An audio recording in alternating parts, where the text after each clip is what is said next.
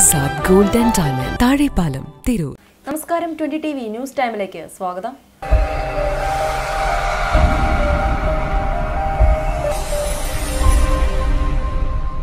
ബാബരി മസ്ജിദ് തകർത്ത കേസിൽ ഗൂഢാലോചനയ്ക്ക് തെളിവില്ലെന്ന് സി ബി ഐ പ്രത്യേക കോടതി വിധിക്ക് പിന്നാലെ പ്രതികരണവുമായി മുസ്ലിം ലീഗ്.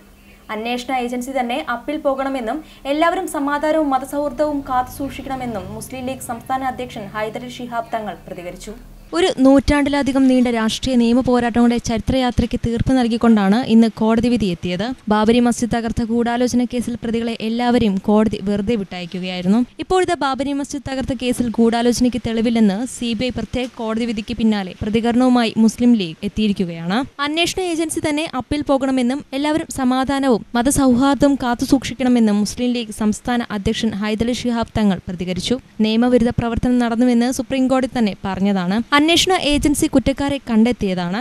എന്നിട്ടും വെറുതെ വിടുന്ന വിധി പ്രതീക്ഷിച്ചില്ല. ബാബരി മസ്ജിദ് തകർത്തിട്ടു തന്നെയില്ലെന്നും പള്ളി ഇപ്പോഴും നിലനിൽക്കുന്നു എന്ന് പറയും പോലെയാണ് വിധിയെന്നും പി കെ കുഞ്ഞാലിക്കുട്ടി അഭിപ്രായപ്പെട്ടു. പള്ളി തകർക്കുമ്പോൾ പ്രതികളെല്ലാം അവിടെ ഉണ്ടായിരുന്നു. അത് ലോകം കണ്ടതാണെന്നും കുഞ്ഞാലിക്കുട്ടി കൂട്ടിച്ചേർത്തു. News desk twenty T V.